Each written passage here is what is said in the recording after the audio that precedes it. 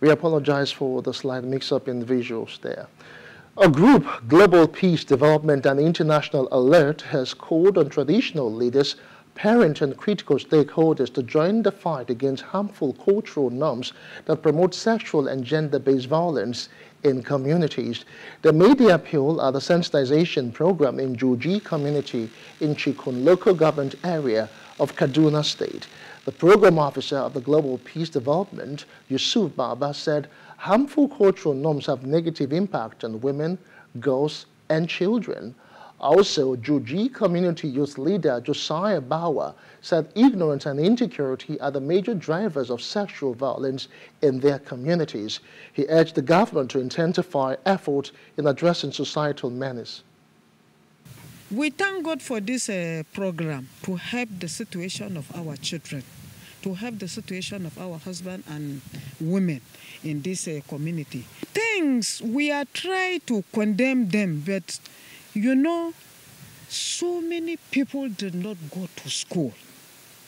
And you that understand, when you are trying to enlighten them, they cannot understand. Because all those things is on them since, and that is why you you cannot control them.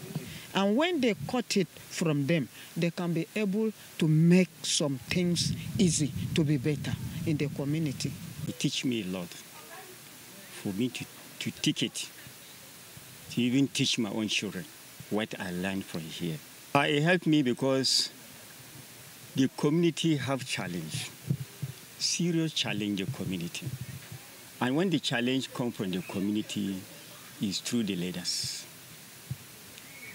When you call you as a leader, Seriki, you have something to say for your community. You have to give order to your community.